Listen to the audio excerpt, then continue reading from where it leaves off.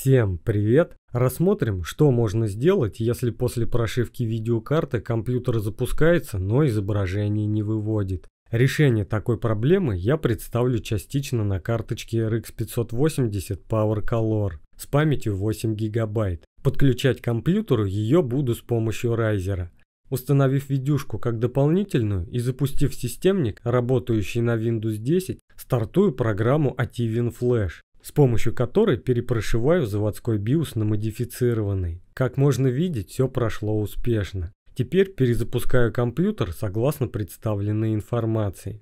В результате, спустя некоторое время, после такой прошивки, изображение на экране так и не вывелось, хотя вентиляторы на карте вращаются. Я выключаю компьютер и извлекаю видеокарту из райзера. Затем снова пробую запустить системник.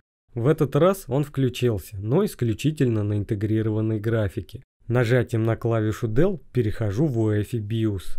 С помощью F7 открываю расширенный режим. Здесь выбираю дополнительно, затем конфигурация систем агент, где в параметрах графики в поле основной дисплей выбираю данный параметр. Выполнив настройки, выхожу нажатием F10 и тем самым сохраняю изменения. После перезапуска выключаю компьютер и устанавливаю карту обратно в Riser. Затем нажимаю клавишу включения на системнике. Выполнив указанные действия, компьютер запустился. На рабочем столе, кликнув правой клавишей мыши по значку «Этот компьютер» и выбрав свойства, в появившемся окне выбираю диспетчер устройств. Можно видеть, что видеокарта отображается, но с ошибкой 43. Теперь попробую зашить на нее обратно штатный BIOS. Если у вас такого нет, то на свой риск можно попробовать его скачать с сайта Tech Power Up для своей видюшки. Или как вариант, попробовать его запросить у изготовителя, как я это делал ранее для другой карты. Далее запускаю ATWin Flash и выполняю перепрошивку. По завершении вновь перезапускаю компьютер.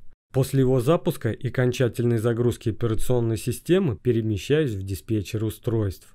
Теперь видеокарта отображается без каких-либо ошибок. Также хочу отметить, что в моем случае запуск компьютера не осуществлялся в полной мере при использовании в качестве основной еще одной дискретной карты, пока не были выполнены изменения в UEFI.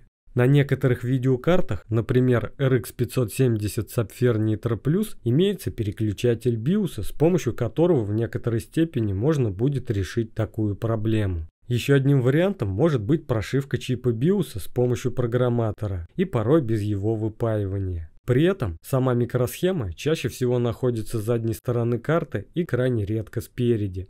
На этом у меня все. Желаю всем удачи и спасибо за внимание.